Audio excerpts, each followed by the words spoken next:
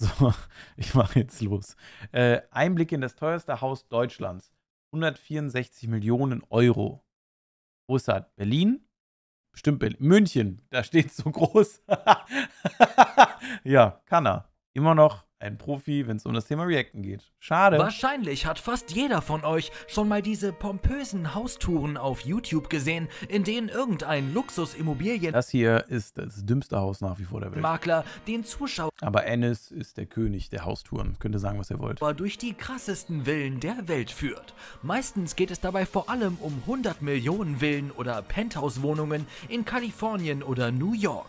Aber wie sehen eigentlich die luxuriösesten Immobilien von Deutschland aus? Und was ist das teuerste Haus Deutschlands? In diesem Video nehmen wir euch mit auf eine Reise durch die teuersten Immobilien Deutschlands und zeigen euch seltene Einblicke in das teuerste Wohnhaus Deutschlands. Geil. Also bleibt dran, hier bei Wissenswert. Ach und schreibt uns bei dieser Gelegenheit doch mal in die Kommentare, welche Besonderheiten das luxuriöseste Haus hatte, in dem ihr selbst schon mal wart. Wir sind gespannt. Wir starten direkt mit dem Haus, das von zahlreichen Zeitungen wie zum Beispiel der TZ, der Augsburger Allgemeinen oder Chip.de als das teuerste Haus Deutschlands die, das ist die Quelle über Wikipedia noch, ist chip.de, Leute. Also immer merken, wenn ihr mal eine Präsentation habt, immer bitte Quelle chip.de und ihr kommt gut durch. Deutschlands betitelt wurde, nämlich dieser Luxusvilla im Münchner Stadtteil Bogenhausen. Satte 38,3 Millionen Euro fordern die Makler für diesen Neubau. Puff. Dafür bekommt der Käufer aber auch so einiges geboten. Zum einen natürlich Platz für die ganze Familie, denn die Villa verfügt über insgesamt 22 Zimmer auf sechs Stockwerken, die insgesamt 1100. Das war jetzt aber doch dreietagig. Ist das ein falsches Bild? 168 Quadratmeter Wohnfläche ergeben.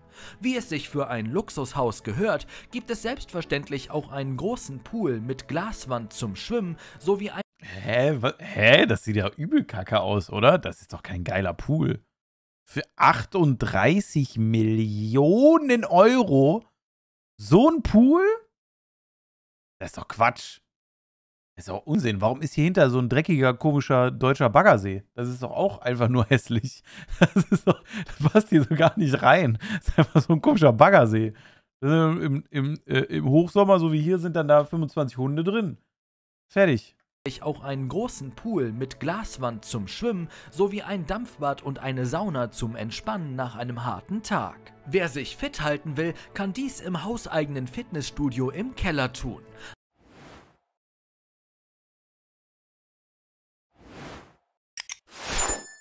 What the fuck? Western Union Werbung in Deutschland? What the fuck? Was passiert denn jetzt? Dein aktuelles Gehalt? So viel könntest du verdienen? Was ist das für ein Quatsch? Lösch die Seite. Löschen. Nein, die dürfen das nicht wissen, wie viel die eigentlich verdienen könnten. ist das Gebäude an die herrschaftlichen Villen aus den Zeiten der Jahrhundertwende angelehnt. Es gibt also hohe Decken und viel Licht. Sieht immer aus, als wären das so unfassbar kleine, kleine Räume, oder? Wer seinen Blick aus den Fenstern schweifen lässt, schaut dann direkt auf die Isar und den englischen Garten Münchens. Auch Sorgen, einen Parkplatz zu finden, muss sich der zukünftige Besitzer übrigens nicht machen, denn unter der... Ich muss ganz ehrlich mal kurz sagen, als wir in München waren mit dem Truck, haben wir auch in der Innenstadt gute Parkplätze gefunden. Also das war jetzt nicht so ein Riesendrama. Der Villa befindet sich eine eigene Tiefgarage mit Platz für bis zu acht Autos. Aktuell ah, befindet ja. sich die Immobilie übrigens noch im Bau. Wer also jetzt wahlweise 38 Millionen einmalig investiert oder in Monatsraten... Schnapper! Von rund 8 der Baggersee ist die Isar. True. 70.000 Euro abbezahlt, kann noch viel Einfluss auf die weitere Gestaltung der Innenräume nehmen. Cool. Allerdings ist die Villa in München-Bogenhausen nur auf den absoluten Preis bezogen das derzeit teuerste Haus Deutschlands. Was war das denn? Was war, da, was war das denn? Ist es im Video? Nur auf den absoluten Preis bezogen das derzeit teuerste Haus auf einmal kam der Teufel durch die Türe bei Wissenswert. Was ist denn hier passiert, Alter? Preis bezogen, das derzeit teuerste Haus Deutschlands. Wenn man jedoch ein anderes Maß anwendet, nämlich den Quadratmeterpreis, dann stellt sich eine andere Immobilie als die teuerste Deutschlands heraus. Und zwar unglaublich aber wahr, diese kleine Hütte auf Sylt. Was? Tatsächlich ist sie nicht nur das Haus mit dem höchsten Quadratmeterpreis Moving Lama, Dankeschön für die elf Monate. Deutschlands, sondern sogar der Welt.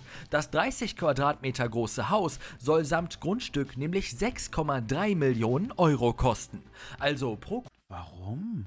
Quadratmeter Wohnfläche mehr als 210.000 Euro. Dieser irrwitzige Preis ergibt sich allerdings nicht durch die Ausstattung des Hauses, denn diese ist sehr bescheiden. Ausschlaggebend sind hier andere Faktoren. Und zwar gehört auch das 2400 Quadratmeter große Grundstück, auf dem sich das Gebäude befindet, mit zum Angebot. Dieses liegt in der besten Gegend von Sylt, mitten in den Dünen und bietet einen unverbaubaren Blick auf das Meer. Wer hier zuschlägt, könnte die einzigartige Lage also auch nutzen, um das kleine Haus abzureißen und durch eine Luxusvilla oder sogar ein Hotel zu ersetzen. Was für ein Quatsch. Solange Das ist fast so teuer wie Köln inzwischen, ne? Also so teuer ist inzwischen auch Köln. Wir haben letztens hier in der Innenstadt gefunden, 35 Quadratmeter Wohnung, 1200 Euro kalt. Herzlich willkommen in Köln, ey. Hier macht's noch Spaß. Hier macht's noch Spaß zu wohnen. Hier ist gut. Kommt nach Köln. das Häuschen noch nicht verkauft ist, vermieten es die Inhaber übrigens für etwa 1500 Euro pro Nacht. Allerdings gibt es mit den beiden Immobilien 1500 Euro pro Nacht für so ein. Immobilien, die wir euch bisher gezeigt haben, ein Problem, weshalb man an ihrem Status als die teuersten Häuser Deutschlands zweifeln kann. Beide wurden nämlich noch nicht für die veranschlagten Preise verkauft, beziehungsweise die Villa in München ist ja noch nicht einmal fertiggestellt. Daher wollen wir euch jetzt noch zwei der teuersten bisher in Deutschland wirklich verkauften Häuser zeigen, bis wir dann zum mit Abstand teuersten Geil. Haus Schloss. das es in Deutschland überhaupt gibt, kommen. Da wäre als erstes diese traumhafte Villa, die sich auf einem 3700 Quadratmeter großen Parkgrundstück direkt am Starnberger See befindet und einen eigenen Zugang zu diesem bietet. Zum Preis von 17 Millionen Euro sicherte sich der neue Besitzer aber nicht nur diese absolute Traumlage, sondern natürlich auch riesige lichtdurchflutete Das ist, das sieht ganz okay aus, ne? Also ist schön so, aber ich finde es jetzt auch nicht so geil. Räumlichkeiten. Aber ihr habt ja auch schon gemerkt, ich bin sehr picky, was Immobilien und so angeht. einen Weinkeller, der Oh, schön. keine Wünsche offen lässt Sehr schön, das sieht geil aus. und einen beeindruckenden Spa-Bereich, um den ihn viele Hotels beneiden dürften. Dagegen war diese Designervilla bei. Hamburg, die aussieht, als sei sie aus Stein gehauen, Boah, das finde ich ganz schrecklich. Boah, das finde ich überhaupt, das finde ich ganz, ganz, ganz, ganz schrecklich, sowas. Weiß ich auch nicht. Ich kann euch sagen, warum ich das schrecklich finde. Es hat überhaupt, es hat absolut gar keinen logischen Grund, aber ich finde immer, oh Gott, das, das zu sagen ist schon schwierig. Ich finde halt, das sieht so aus wie ein Haus, wo Leute umgebracht werden. Keine Ahnung warum, aber auf jeden Fall passiert hier eine tragische Geschichte. So, also es geht nicht gut aus und eine, eine Person stirbt, aber so richtig, so dumm. Entweder ermordet oder so umgekippt oder Pfeil in die Brust oder ein, ein, äh, keine Ahnung, Lachs, wilder Lachs, der an Land gekommen ist, hat den Besitzer gefressen bei Nacht, weil er dann Beine hatte. Das, so, das ist die einzige Möglichkeit, wie in diesem Haus irgendwas passiert. Nur deswegen sieht man Schlagzeilen über so ein Haus. Das ist immer Wald und super modern. Das ist immer das Gleiche. Immer das Gleiche. Ganz schwierig. mit gerade einmal 3,6 Millionen Euro ein Schnäppchen für den Käufer.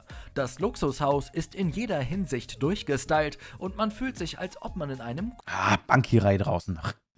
Ach, Kunstwerk leben würde. schön sieht das aus für die ersten zwei Monate, wo das Haus danach ist grau.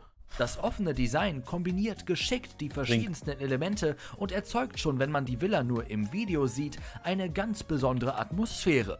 Natürlich sind auch hier jegliche Annehmlichkeiten wie ein Pool, ein schicker Kamin oder eine großzügige Garage für diverse Luxusautos gegeben. Nach all diesen Häusern kommen wir nun aber zum wirklich teuersten Haus in Deutschland, das alles bisher Gesehene in den Schatten Finde ich gut. Also hier würde ich jetzt, also kriegt man äh, vielleicht Rabatt. Stellt und das im Gegensatz zur Villa am Anfang sogar vom Eigentümer in Teilen bewohnt wird. Und zwar handelt es sich um die Villa von Turn und Taxis in Regensburg, die den klangvollen Namen Schloss St. Emmeram trägt. Der Gebäudekomplex verfügt über eine Fläche von unglaublichen 37.000 Quadratmetern und die haben es in sich. Glaubt ihr, die haben Platz für Retro-Spielsammlung? Glaubt ihr? Das ehemalige Kloster wurde nämlich im 19. Jahrhundert zu einer fürstlichen Residenz mit über 500 Zimmern umgebaut. Geil. Noch heute leben hier Teile der Adelsfamilie Thurn und Taxis und genießen den Luxus des Anwesens. Es ist so groß, dass es hier nicht nur Ost-, West-, Süd- und Nordflügel gibt, sondern diese sogar noch in Bezeichnungen wie innerer Südflügel. Wie geil ist es? Ey, ich komme rüber in den Ostflügel und dann gehst du einfach nur über riesenlange Flure. Wie geil. Flügel unterteilt sind, damit man präziser mitteilen kann, wo man sich gerade überhaupt befindet. Wie Mega man es geil. von Adeligen erwartet. Ja, so muss das. So möchte ich, genau so möchte ich später auch wohnen. ist das hässlich, Alter. Wartet, sind die Innenräume nur mit edelsten Möbeln und Dekoobjekten gefüllt und allein die farbenfrohen, prächtigen Kunstwerke, Vorhänge und Tapeten lassen einen in eine Welt eintauchen, Eieieiei, ist das schlimm. Oh mein Gott, ist das schlimm. Oh mein Gott, das muss ja verbieten. Eieiei, habt ihr gesehen, dass hier eine fliegende Hundeschaukel ist? Das ist so ein Schloss. Hier könnte ein Mann außer. Eieieiei. Was ist das hier für ein Geschwür? Warum ist hier so ein roter Sitzsessel? Was ist das alles? Das kannst du doch nicht machen. Das kannst du doch niemandem erlauben. Das kannst du doch niemandem erlauben, sowas zu machen. Oh, ist das schrecklich. Das ist so schlimm. Das muss ich mal live sehen. Kann man da irgendwen mal, kann man, kann man, kann da jemand networken oder so? Das ist ja wirklich, egal wo du hinguckst, wirklich schlimmer. Sch schlimmer als, das kannst du ja nicht, das kannst du ja nicht machen. Das ist ja richtig, richtig übel, Alter. da gibt es Führung, echt. Boah. Und was sagen die dann? Dieses Zimmer hat mein Großvater eingerichtet. Oh, äh, Smiley dachte, oh, Smiley, Dankeschön. Danke für den Raid. Ja, ihr kommt zum richtigen Zeitpunkt. Das hier sieht im Prinzip so aus, wie äh, wenn Smiley eine Mehlschmitze macht. Das ist im Prinzip genau das gleiche. Viele Grüße. Oh Mann, ey, was für ein wirklich, wirklich schlimmes Zimmer hier. in der Fürsten vor Jahrhunderten gelebt haben. Ja, vor Jahrhunderten hat hoffentlich hier kein Fürst gelebt. Generell sind viele der Eieiei. Räume mit Plüsch und dicken Teppichen und Vorhängen ausstaffiert, was Schall schluckt und so für Sowas brauche ich. Einfach ein Thron. Das ist ja cool. Alter. Müssen noch mal kochen. Ja. Mehlschwitze. Nur das. Warum guckt Thomas spitzer links aus der Wand? der sucht CBD. Der schnüffelt sich so durch Wände durch und sucht neue CBD-Spots. Ist hier CBD im Boden? ist Thomas immer flink. Warum guckt Thomas spitzer links durch die Wand? Ist gut, ist gut. Oh boy, ey. Äh, Dankeschön fürs verschenkte Sub. Ein bisschen Liebe den Chat. eine ruhige Atmosphäre sorgt. Finde ich geil. Falls die Familie neuen Boah. Lesestoff braucht, bedient sie sich einfach in der hauseigenen riesigen Sowas ist ja cool, ne? Also so eine Bibliothek ist auf jeden Fall sehr cool. Aber auch krank unnötig, so wie ich ganz ehrlich. Bibliothek, die nicht nur pompös aussieht, sondern auch über mehr Bücher verfügt als Man kann ja wirklich eine Führung machen. Das war kein Spaß, Nils. Oh mein Gott, ich muss in dieses hässliche Zimmer. Ich will den auf dem Boden pinkeln. die meisten öffentlichen Büchereien. Genauer gesagt gibt es hier nämlich unglaubliche 250.000 Bücher. Boah. Wenn die adelige Familie beten möchte, muss sie übrigens auch nicht in die Kirche gehen, denn selbstverständlich verfügt ihr Anwesen auch Alter, wel- welcher, wer hat denn das hier alles eingerichtet? Das ist ja alles so heftig. über eine eigene, prachtvolle Kapelle mit Geil. reichlich Platz für Messen.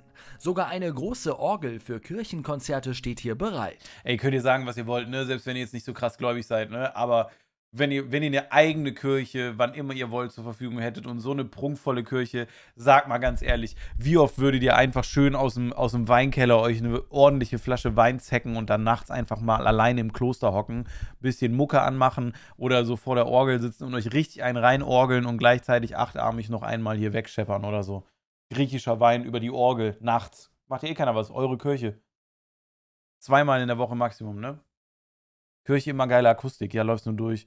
Oh, Finde ich gut. 100 Prozent, ey. Außerdem verfügt Schloss St. Emmeram auch über eine fürstliche Schatzkammer, in der die Adelsfamilie wie in alten Zeiten unter strengsten. Sicherheitsvorkehrungen ihre wertvollsten Besitztümer aufbewahrt. Wie anstrengend auch für die, wenn die so am Wochenende mal das teure Geschirr auspacken wollen, dann musst du da am Sicherheitsdienst vorbei. Für deine Teller und so. Übel anstrengend. Neben unersetzlichen Schmuckstücken befinden sich hier beispielsweise auch Pokale, feinstes Geschirr oder jahrhundertealte Reliquien von unschätzbarem Wert. Für Feiern steht auf St. Emmeram übrigens nicht nur ein Partyraum, sondern tatsächlich gleich ein ganzer Ballsaal mit Platz für mehrere hundert Gäste zur Verfügung. Ach und wem es drinnen doch einmal Warum sind überall diese Gesichter, die aus der Wand kommen? Oh mein Gott.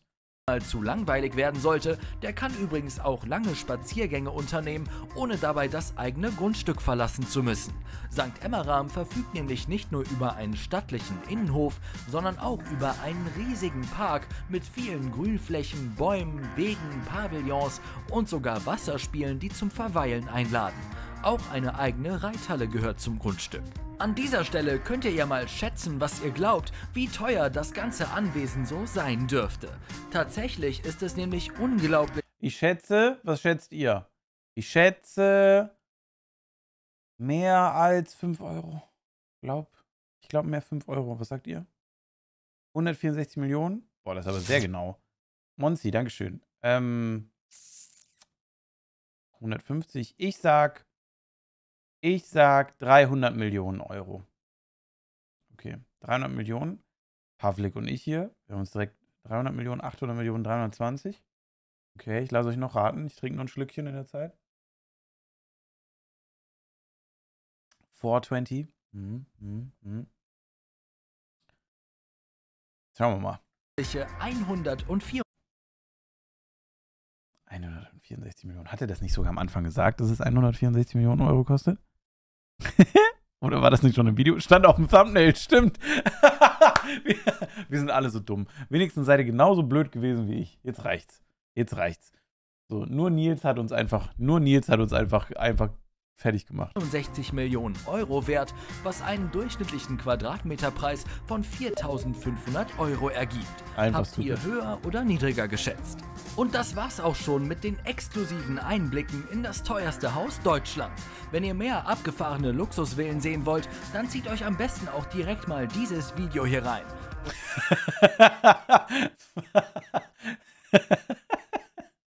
ja, top. Montana Black bestimmt nicht ausgeschnitten auf dem Thumbnail. Leute, ey, was ist das hier? Warum? Warum schneidet ihr das so scheiße aus? Ein bisschen Mühe, Leute. Ein bisschen Mühe. Och Mann. Ja, gut. Ja, gut. Ich mein's einfach weiter, ey.